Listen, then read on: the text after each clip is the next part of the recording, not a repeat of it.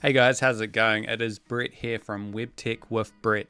Now today I am going to be showing you guys how you can add a favy icon to your website.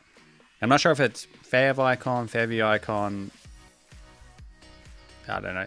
It's, it's this one here that pops up at the top of your browsers and also in your search results. All right, so off the bat, we are going to figure out, first of all, what is a favy icon? All right, so as you can see here, I'm on my website. Now, a favy icon is this little icon you have here in the corner.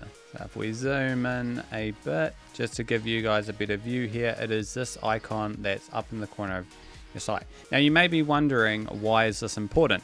This is important because it gives your site a form of identity.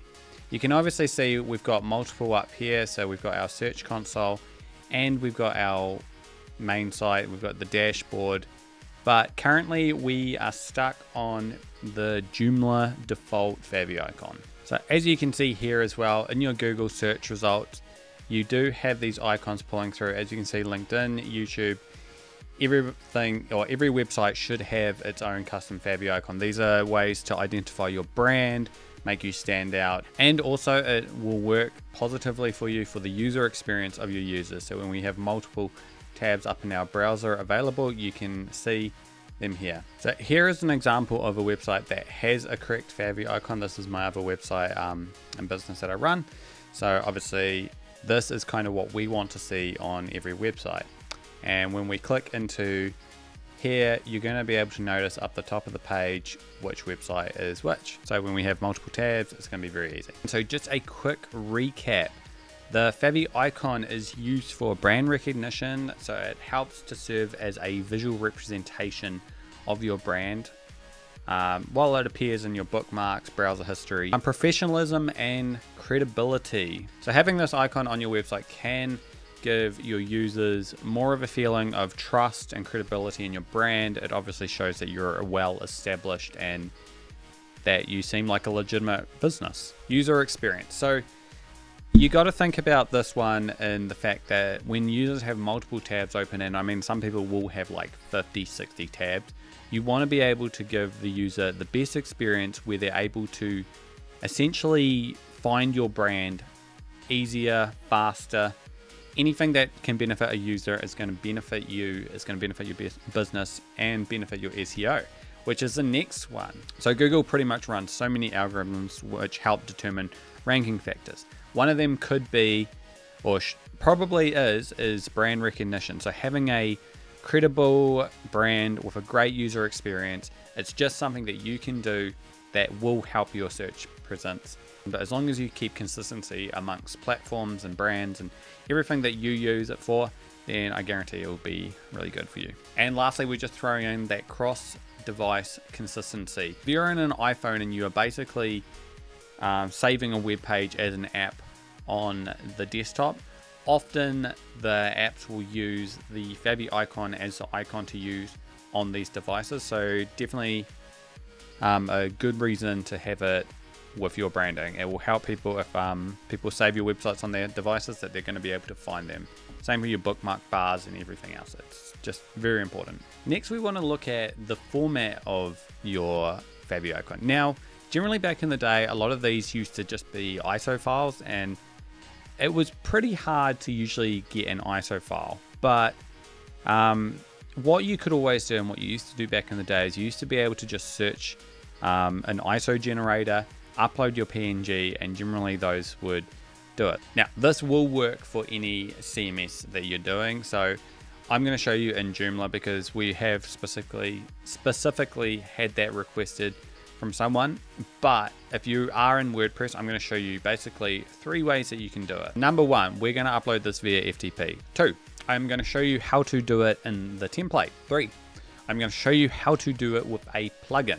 And actually four, Actually, for as a quick bonus, I'm also going to show you guys how you can do it on WordPress because it's a lot simpler on WordPress. All right, so here we go. Uh, we are currently on the desktop and I'm going to show you how to upload it via FTP. The Favy icon in Joomla is there, but this is the one we downloaded up in the corner here. So first thing we're going to do is extract this. Now, as you can see here, we've got all of our icon files. Now there isn't really a difficult way to do this. All you need to do is make sure you're in your public HTML folder or your base directory. This should be the one on Joomla where you see the configuration file. And realistically, all we have to do is we can copy all these files. I'll, I'll leave the site manifest one. But if we copy these, this main one here, this favicon one, it's the only one that's going to be important. So if I drag and drop that, this technically should update the favicon on here. So if you are using a caching platform, be sure to clear your cache. Still hasn't updated our favicon. So we know that this isn't going to work. Generally speaking, for a lot of HTML sites, this will work. So now we go to the next part as we go into our templates, our theme, and we're going to try upload it here. So again, we drag our Fabio icon into there, clear cache, and refresh the site. All right, so as you can see, what we've done has not worked. Now, the reason is because we are using the Cassiopeia theme. Cas, Cas, we are you, you know, I'm, I'm never going to get it, but we are using the default Joomla theme. Now, the default Joomla theme, unfortunately, has these set specifically in the index.php file of your template. So there are basically a couple ways you can do it. In here, you can go into your FTP section of the site. This is under your public HTML media system um, images and you can replace these images in here.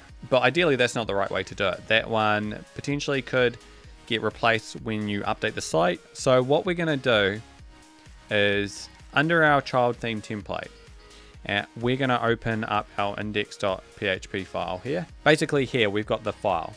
And as you can see, we've got these three lines of code here that are essentially HTML helpers that have been specifically set that will add the favicon links to the top of the site. Now we could ideally just change these, but we're not going to because we've already dragged our files in through FTP. So what we're going to do is pretty much close those off, just comment them out. Don't want them. Um, now be sure, if you are doing this, make sure that you first create a child theme of your website. Now be sure, if if you need to know how to do it, it is super, super simple. Go watch my child theme video. You're gonna wanna do that first. It's gonna pretty much solve all your issues. It means when the theme updates, nothing's gonna get overridden. It's just standard practice. Now back up here, again, we're going to give that a nice control F5. And as you can see, our favicon has changed in the corner. Maybe hard for you guys to see, but we will just zoom that in. Now, if you don't have access to FTP, I'm going to show you how you can do this in your admin dashboard. Now, if we go into system, you're going to want to go into site template styles. Now these are your templates. You guys are not going to want to click here, but you're going to want to click here. So once we click there on our template and you can see all your template files in here, you're going to want to scroll down to where it says index.php. Now under here you're going to be able to edit the code and again these are the lines that you're going to want to remove or you can just comment them out um, and then you're going to go save and close. Now I'm not even sure if this is going to work but basically we've reverted the changes and now we're going to add in a favicon icon using a plugin. All right, as you can see up the top, um, our icon is back to normal. So what we're gonna do is search favicon Joomla plugin, just whatever we can do. And let's see, we got favicon by Michael. Like we'll, we'll just go with whatever one we can get that's only compatible with Joomla 3. We're not going to use that one. We're going to try this one. Um, Joomla 4. Okay, you're going to want to find one anyway that has Joomla 4. So we'll have a look at this one here. Again, I'm just, I'm not advertising for any of these people. I'm just searching the Joomla dashboard and pretty much finding just one that will work. That is not a very good plugin. It doesn't even do the trick. All right, it's quite possible we won't find a plugin that works here, um, so I'm not going to go through and test all of these. However, um, if you guys do have the time, definitely go through and do it. I am going to show you basically one more way to do it. This time we're not going to be using Joomla because Joomla can be more complicated. What we're going to do is show you how you can do this in WordPress. Now it should be very easy and actually, to be honest, it's going to be way easier than Joomla because they literally have it built into every theme. So I'm going to show you how to do that right now. All right, thanks for staying this long. Now, if you are a WordPress user, here is how you can update your fav icon in WordPress. Now, it's very easy. We are here under appearances and themes. So what you're going to want to do is first of all, log into your WordPress dashboard. That will be under wp-admin or whatever site you're using. You may have to log in through the WordPress.com. Um, but all you're going to have to do is go customize. Now, most themes will have something here on the side called site identity. And down here, they're going to have a little box called site icon. And it's super easy. All you have to do is click change image and just upload it here. This could be anything from a PNG, um, an SVG. Most formats do work with WordPress. So yeah, look, how easy was that? I'm not going to change it because obviously my icon's already set, but man, way, way simpler than Joomla. Yeah, so that pretty much does it. Now, be sure, if you guys do need to figure out how to create a child thing, then you're going to want to watch this video right here. What are you waiting for? It's right there. Just, just watch away.